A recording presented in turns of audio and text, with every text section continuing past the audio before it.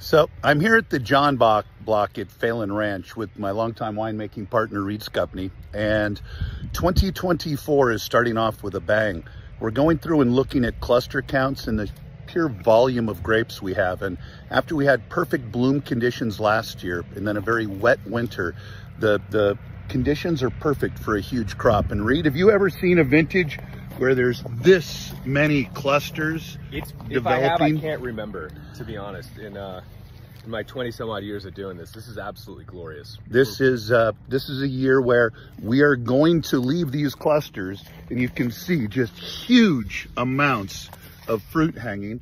And our goal is to let this start roll them, let them go for about a month and a half, and then do a drop late in the season. But this year, mitigating all of the moisture, all of the built up vigor that the soil has, we need these things to uh, to slow down. We're about to have the hottest June in history. These vines are going to absolutely go crazy, and, and it's our job to manage this crop load to make sure that the textures and concentration are there. Reed, what do you think about the canopy to hold up this much crop load? At this angle right here, we're looking really healthy. Um, you can see they're, they're still growing, but with this oncoming heat, they're gonna shut down really quickly.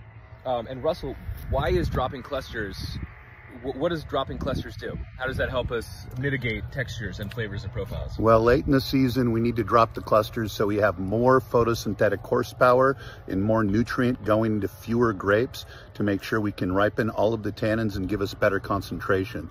If we left this much fruit on the vine, that the, the grapes would be watery and wouldn't have the there there that, well, Reed and I like to put in the bottle.